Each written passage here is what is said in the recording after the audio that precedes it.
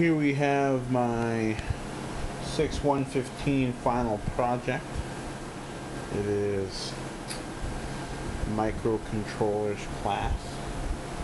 I have constructed a basic game player of the 8051 microcontroller over here on this board which you can't see. Uh, essentially I'm just interfacing to this FPGA uh, to get VGA out so that I can play all sorts of nice fun games.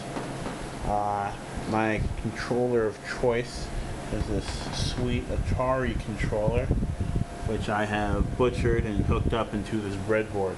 It's very nice. The game itself is some kind of cheap rip-off of Space Invaders or some clone. I can move my blue character around, try to shoot. I win. Uh, I can't even see my pieces on this screen. He, uh, his AI is pretty simple. He just shoots when he sees me. I got killed right there.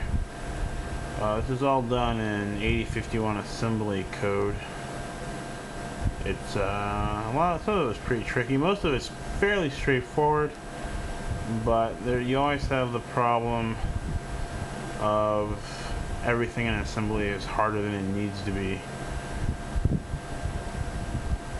Uh, this is why this is so simple. Like a lot of the stuff I knew how to do. Like for instance, I could make these graphics better. I could add a score, lives, other type of numbers and stuff, but I didn't feel like making pixel by pixel graphics or uh, a, a, font, which is all necessary at this level of, of gameplay.